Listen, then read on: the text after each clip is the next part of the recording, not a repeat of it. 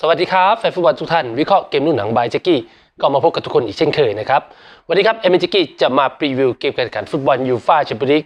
รอบ 8 ทีมสุดท้ายนัดแรก ระหว่างทีมเรอัลมาดริดเปิดรังซานติอาโกเบร์นาเบวครับรับต้อนรับการเยือนของหงส์แดงลิเวอร์พูลของเรานะครับโดยเกมนี้ครับจะเล่นกันที่กรุงมาดริดประเทศสเปนในเวลาตีสองตามเวลาประเทศไทย ซึ่งก็ถือว่าเป็นเวลาที่ดีขึ้นนะครับเพราะว่าก่อนหน้านี้ในเกมยูฟ่าแชมเปี้ยนลีกเนี่ยเล่นกันในเวลาตีสามตอนนี้ยุโรปปรับเวลา ให้เร็วขึ้นมาอีกหนึ่งชั่วโมง แล้วก็ทำให้แฟนบอลชาวไทยหรือว่าแฟนบอลทีมลิเวอร์พูลเนี่ยมีโอกาสที่ได้ชมเกมเร็วขึ้นนะครับตัวแอดมินเองก็อาจจะมีลุ้นในการได้ดูถ้าไม่ดึกจนเกินไปอะมาดูการ preview กันในวันนี้กันบ้างนะครับ การเจอกันของทั้งสองทีมเนี่ย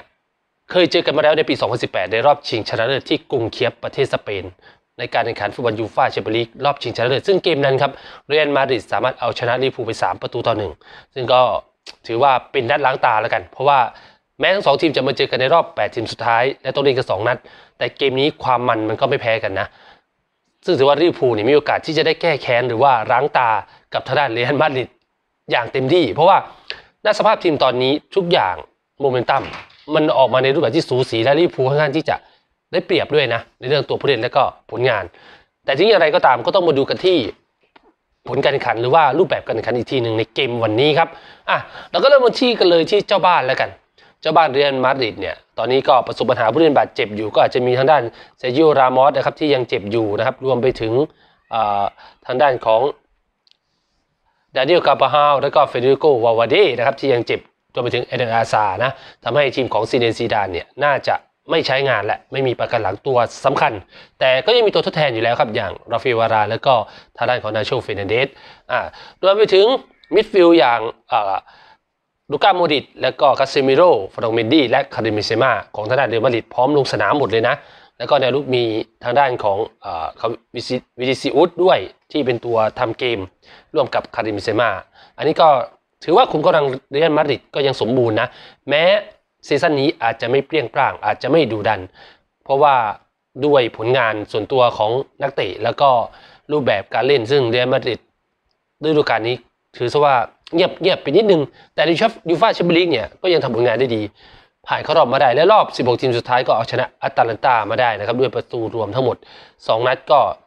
ชนะมา 4 ประตูต่อหนึ่งซึ่งก็ผ่านเข้ารอบมาได้อย่างง่ายดายนัดนี้ต้องเปิดซานติอาโกเบร์นาเบวพบลิเวอร์พูลซึ่งวันนี้ออกมาเยือนด้วยขุมกำลังที่เรียกว่าพร้อมนะแอดมินดูแล้วเพราะว่าการได้ผู้เล่นที่บาดเจ็บอย่างดิโอโกโชต้ากลับมาเนี่ยมันทำให้ขุมกำลังใน แดนหน้าหรือแนวรุกลิเวอร์พูลมีตัวเลือกให้ใช้มากขึ้น ถึงแม้ว่าในแดนหลังอย่างเวอร์จิลฟานไดค์กับทางด้านของโจเอลมาติปจะไม่หายทันมาในเร็วๆวันนี้ แต่อย่างน้อยการมีแนทฟิลลิปส์กับโอซานคาบักที่เล่นด้วยกันมาตลอดหลายๆนัดแล้วนะ แล้วก็เก็บคลีนชีตได้สองนัดติดต่อกันเนี่ย ก็เป็นสิ่งที่ลิเวอร์พูลจะไว้วางใจแล้วแหละ ว่าจะให้เซนเตอร์แบ็กทั้งสองข้างเนี่ยไอ้ทั้งสองคนเนี่ยเป็นขุมกำลังในแนวรับตัวหลัก ส่วนฟูลแบ็กสองข้างก็อย่างที่เคยใช้มาก็คือโรเบิร์ตสันกับ อาร์โนลด์ที่เทรนต์อาร์โนลด์เนี่ยแมตช์ที่แล้วทำผลงานได้ดีมากแอดมินชมเลยนะการครอสบอลการเปิดบอลแม่นยำขึ้นเยอะเลยรวมไปถึงมีผู้รักษาประตูที่ไว้ใจได้อย่างอลิสซอนเบ็คเกอร์นะครับส่วนมิดฟิลด์สามตัว วันนี้แอดมินแจ็คกี้ก็คาดว่าลิเวอร์พูลน่าจะใช้ฟาบินโญ่เป็นมิดฟิลด์ตัวรับตามที่เคยใช้มาและผลงานมันดีขึ้นชัดเจนเล่นร่วมกับทางด้านของเธียโก้อัลคันทาร่าที่มีความ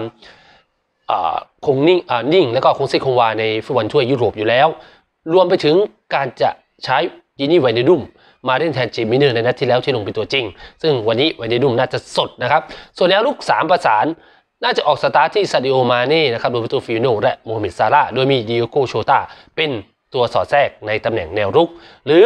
เออทางด้านของเจอร์เก้นคล็อปป์อาจจะใช้โชตาแทนฟีร์มิโน่ในการออกสตาร์ท 11 ผู้เล่นตัวจริงอะก็มาดูตัวผู้เล่นกันหมดแล้วนะครับรูปแบบเกมเนี่ยวันนี้น่าจะออกมาในแบบที่เรอัลมาดริดจะต้องเปิดเกมรุกเข้าใส่ทางด้านของหงส์แดงลิเวอร์พูลเพราะว่า เป็นเจ้าบ้าน และต้องการประตูให้ได้ และก็ต้องรักษาตัวเองไม่ให้เสียกฎไม่เสียประตูอเวย์โกลด้วย นั่นก็เป็นสิ่งที่ยาก เพราะว่า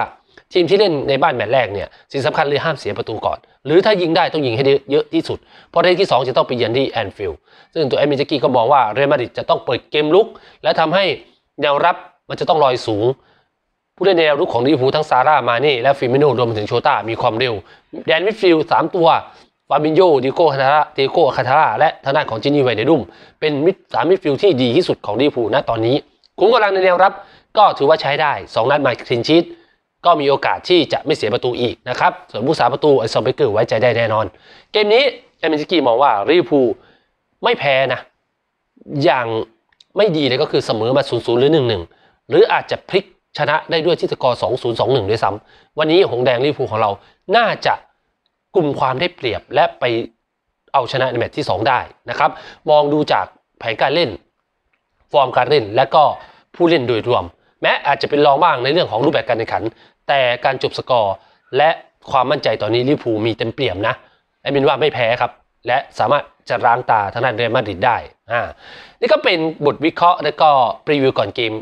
คู่ระหว่างเรอัลมาดริดพบกับลิเวอร์พูลในฟุตบอลยูฟ่าแชมเปี้ยนลีกรอบ 8 ทีมสุดท้ายที่ แอดมินแจ็คกี้มาวิเคราะห์ และก็มาพรีวิวให้ทุกท่านได้รับชมรับฟังกัน ก็ขอบคุณทุกท่านนะครับที่รับชมคลิปนี้ แล้วก็ฝากกดไลค์กดแชร์ กด Subscribe กระดิ่งแจ้งเตือนแล้วก็คอมเมนต์แอดมินแจ็คกี้ด้วย แอดมินแจ็คกี้ก็จะมาทำคลิปแบบนี้ให้ทุกท่านได้ชมกันอีกในครั้งต่อไปสำหรับวันนี้ครับแอดมินแจ็คกี้ขอลาทุกท่านไปก่อนด้วยคลิปนี้ครับ สวัสดีครับ